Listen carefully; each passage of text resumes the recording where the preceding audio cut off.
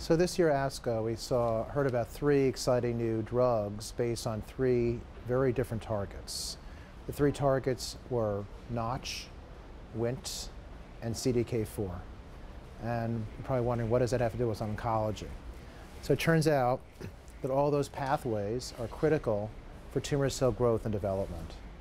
And we've learned that by blocking these pathways, we may in fact be able to stop cancer growth and cancer development. So with the drug that blocks the Notch pathway, that's a drug made by Regeneron, there's been a major effort over the last three or four years to see could we block this pathway. Now the classic way to block it has been targeting a protein called gamma secretase. So Notch is a receptor. It spans the outer membrane of the cell.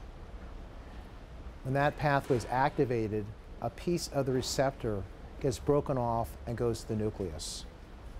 That breakdown of that receptor is affected by a protein called gamma secretase. So most of the effort in targeting Notch has been on developing drugs that block gamma secretase. They block the ability of the cancer cell to break down that particular protein so that it doesn't activate the cancer cell. And that's what the gamma secretase inhibitors do. So a lot of that work, in fact, came out of work in Alzheimer's disease, where the same pathway seems to be important in developing uh, proteins responsible for Alzheimer's and dementia. So using those same molecules, the cancer industry is focused now on cancer therapeutics by tar targeting the gamma secretase pathway. The way the Regeneron drug differs, it blocks a protein called delta ligand 4. Delta ligand 4 activates the receptor directly. So rather than being responsible for the breakdown of the receptor, this one binds to the receptor and activates the cancer cell. So what the Regeneron drug does, it binds to the protein that activates the receptor. You can think of this as sort of a lock and key idea. The lock is the growth factor in the blood, the delta ligand 4. It circulates in the blood until it finds the receptor on the cell surface. The receptor can be thought of as the lock. The key then fits into the lock, turns on the lock, and opens the door, or the key fitting in the ignition and turning on the car. DLL4 antibody, which is what this drug does, binds to the key and prevents it from going into the ignition. So if you can't ignite the cancer cell, you can't turn it on, the cancer cell will die. That's the concept behind this kind of very complex pathway for activation. So in the clinical trials, what they showed is actually rather remarkable activity in several tumor types, especially ovarian cancer. In ovarian cancer, they were able to report partial responses in patients who had failed prior chemotherapy. And they had a number of responses in the ovarian cancer population.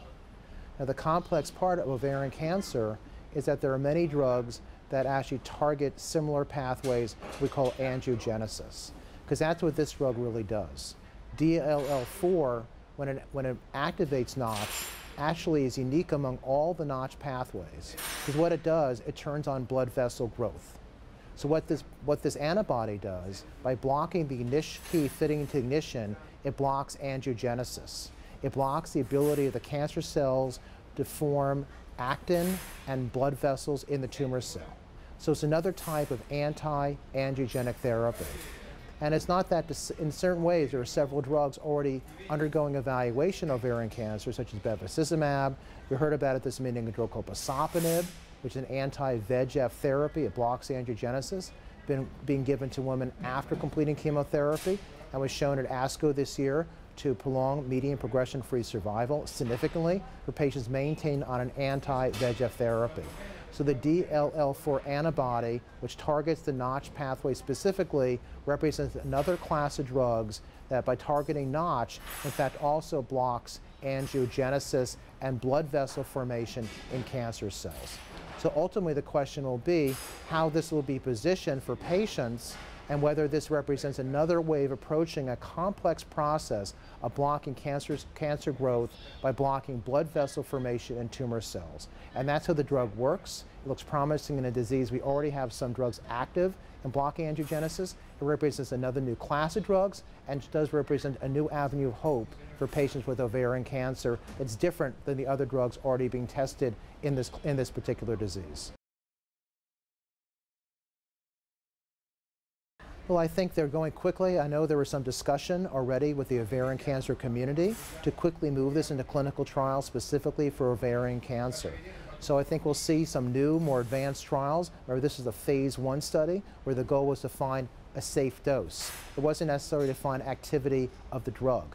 The luck is it is that they found signs of clinical activity. That's unusual in a phase one. We're lucky if we see an activity of any drug in a phase one. We're really just looking to see can we come up with a safe dose. So there was an extra bonus for Regeneron. Not only did they find a safe dose for the drug, but they found a dose that's effective in a cancer for which there are very few effective therapies once patients fail chemotherapy. So the ovarian cancer committee is aware of the data. They've met, I believe, at ASCO or before ASCO, and they're going to move quickly, quickly to into advanced trials with this drug in this particular disease. Other drugs that were discussed was inhibitor of Wnt. Now, Wnt's a very complex process.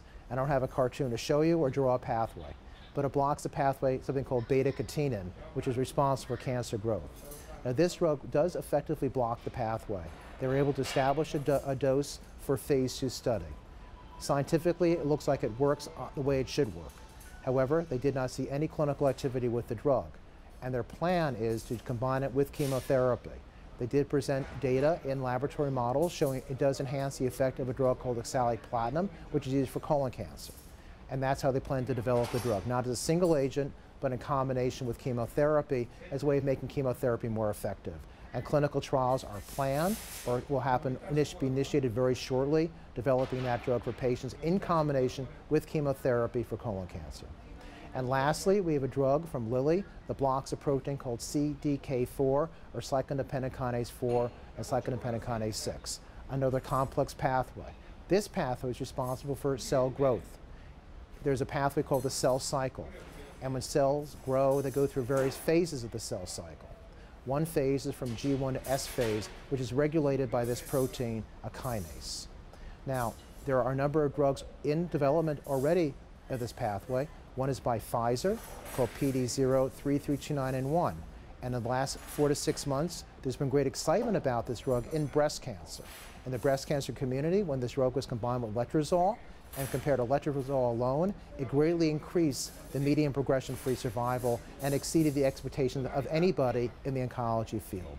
In addition, the Pfizer CDK4/6 inhibitor, which is further along, shows activity in a disease called liposarcoma, a rare sarcoma subtype which there are no effective therapies. And the reason for this, in liposarcoma, this protein, CDK4, is highly expressed and represents 90% of all the patients with this very rare cancer. And in this meeting also, Dr. Mark Dickson showed that the Pfizer CDK4 inhibitor had exceptional activity in this particular cancer, and plans are now underway to do a registration trial in liposarcoma as a global study between America and Europe for a CDK4 inhibitor. That study is forthcoming. People should keep an eye on it. It may be an amazing new development for a rare cancer, which there are no effective therapies. Meanwhile, the Lilly drug looks very promising they showed some exciting activity in breast cancer. They showed a case of a woman with advanced metastatic breast cancer, was ER positive, again indicating that this drug may, this class of drugs may be active in metastatic breast cancer, and that data was very exciting. In fact, they showed a number of responses across tumor types with the drug. We have yet to see how this drug will work in phase two studies. This is a phase one trial. Uh, they'll have to define fully the safest dose in future clinical trials, and we'll have to wait to see how effective it is in phase two studies. But the preliminary data with the drug does look very promising, and studies I think will be initiated. Obviously, breast cancer is a hot topic. Patients want new drugs for breast cancer. The Pfizer drug, which is ahead of it by at least a year or two, has already promising activity, and I'm sure the Lilly company will pursue breast cancer quite aggressively based on their clinical data presented at the meeting.